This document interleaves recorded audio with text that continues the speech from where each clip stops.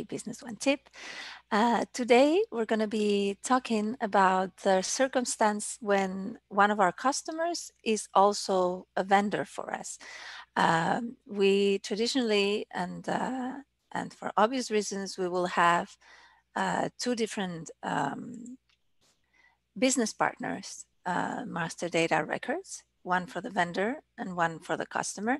They could even be different companies, but uh, in our relationship with them, we might want to link um, their accounts for accounting uh, purposes. And I'm going to show you today how this can be done. Um, I'm going to open up a business partner master data file for one of our customers. We're going to choose our customer Mason Inc. And once we open the business partner master data uh, card, we go to the accounting tab and we see here that we have this field connected vendor. And here we can choose to link this customer to a vendor. In this case, we're going to choose uh, C Corp is one of my vendors. And once we've selected the vendor and we update the business partner file, both these companies will be linked. Where, where can we see this? There, for instance, if you manage uh, Dunning report recommendations, the Dunning wizard, you will see information and recommendation for both if you choose to show the connected vendors as well. So we're going to show, I'm going to show you that in just a second. So we're going to add only the customer, Mason. But then we're going to click here in this option that mentions consider connected mm, vendors. And we see that this is going to show us not only recommendations for SEEK for Mason, our customer, but also for the vendor, for the connected vendor.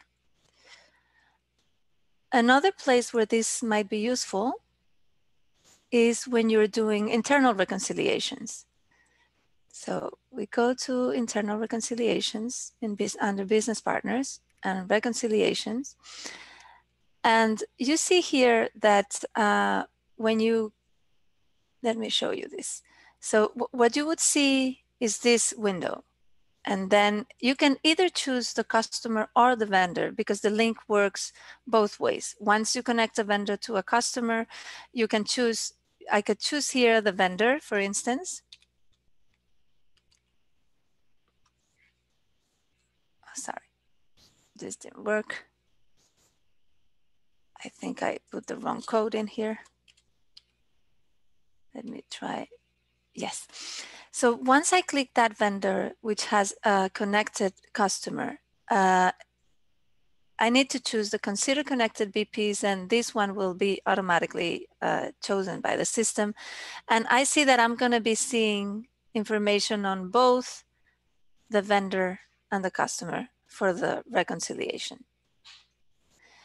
The other place where you're going to see information from both the customer and the vendor once you've connected them is in the um, aging reports. So again, you could choose to create a customer receivable aging report or a vendor liability aging report. And if they are connected, you will see information on both. Let me see if I'm, okay. I was getting a little impatient there. Okay, so we're going to choose, let me move my Zoom. Okay. So we're going to choose our customer in this case.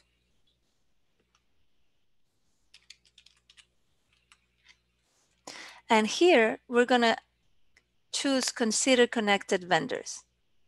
And this is what's going to make this report show us information on both the customer and the vendor. I hope this was helpful for you. Again, if you have any questions, don't hesitate to contact us. I'm going to show in a second our contact information here.